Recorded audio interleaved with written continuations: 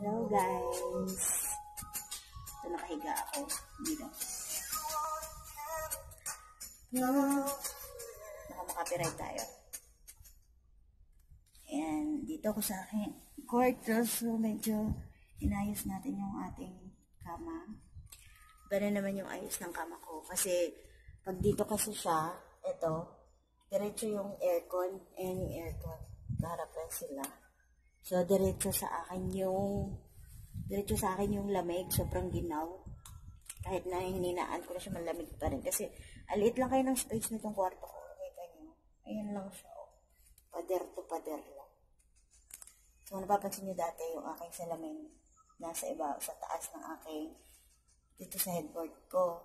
So, ngayon, inilipat ko na siya. So, dyan na yung daanan papunta doon sa aking mga damitan. Nilipat ko siya para hindi na diretso sa akin yung aircon. So, ayan. Para tayong inahing baboy dito na nakahilata. Ano na kayo ah. Mamaga yung mata ko. Iiyak na naman ako eh. Pagka ano, tapos ano, kasi boring na yung araw na to dahil walang net. Walang internet. Naubos na. Walang magawa. Ito, hilata na lang sa kwarto. Hmm sa South Trip na lang. Ayan yung aking jungle to jungle. So, ayan yung aking extension. Uh, dito ako. Lata lang. Yung aking hair. Sobrang kapal. Kapal ng buko, no?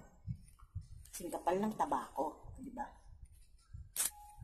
Papakulay nga ako kasi parang ang dami ko ng puti. Gusto ko magpakulay yung highlights. Yung parang highlights, ano siya, ash blend. Gusto ko. Tingnan ko kung bagay. Maputi naman ako eh. May itim lang ako tignan dito sa camera. Dilawi, yellowish ako dito. Hindi ko alam kung bakit. Sabi sa camera, iba yung ano. Tsaka, kulay dilaw kasing dingding. Puro dilaw. So, siguro nagre-reflect sa mukha ko. Pero maputi ako. Ayan. Take note, wag na wag kayo magtiteris ng tagyawa. Tingnan nyo yung akin. Tineris ko yun. Ang laki. Ayan, perfect na sana eh. Kaso lang, nagtiris kasi ako ng pimples kagabi. Kainis. Bakit pagka dito sa camera na to, parang ang dami kong tigidig. Wala naman to sa personal, ito lang. Ano ba nangyayari dito? Ang, ang fake ng camera na to, pinapapangit ako. Charot. Wala lang, wala akong magawa ngayong araw na to, kundi magmukmuk sa kwarto. Tapos na yung trabaho ko. And I feel so sad. Ang lungkot kasi wala akong load, walang net. Alam niyo naman, internet is life. Kung walang internet, boring. And then, supposed to be it's my salary day, pero wala pa rin hanggang ngayon. Hmm, gusto kong lumabas daw. Makalabas dahil wala akong pe. Wala akong sape. Wala akong warta. Wala lahat. Wala nang net. Wala pang pera. Wala pang... Hmm. Ano ba yan? Tsaka hindi ako nakapag-workout these days kasi hindi ko alam kung bakit ganito yung aking period.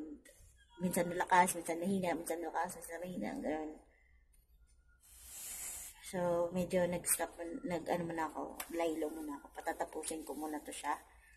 And then, tsaka ako babalik ulit sa workout ko. So, gumawa na lang muna ako ng compilation ng aking journey. So, sana magustuhan nyo yung compilation na ginawa ko.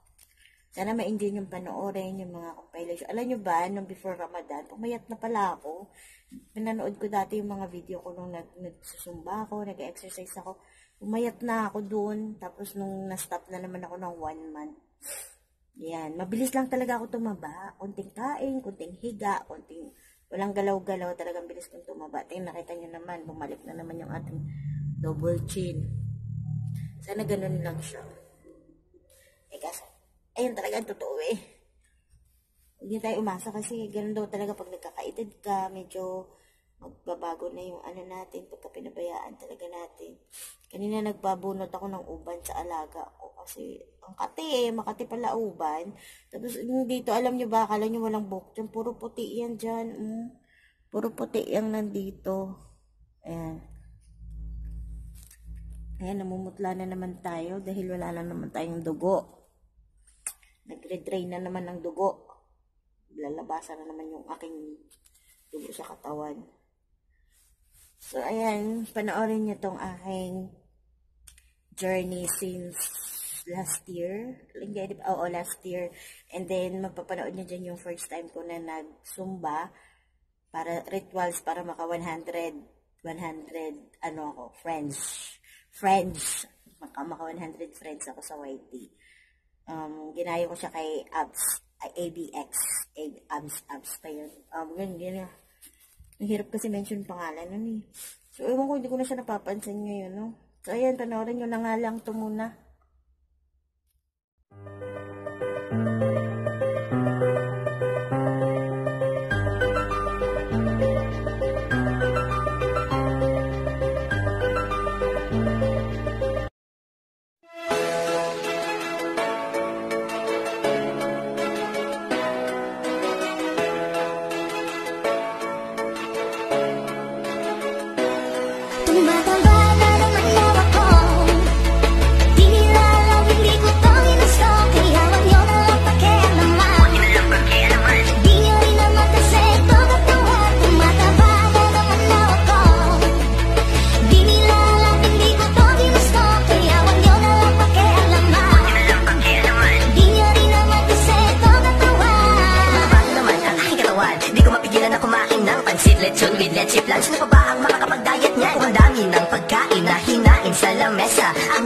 ay umayaw na sa isip ko'y gustong gusto pa na sobrahan. Di ko na malayan ayan tuloy bumigat timbang. Bukas ng umaga let's have some job let's go to the gym and lose some fat.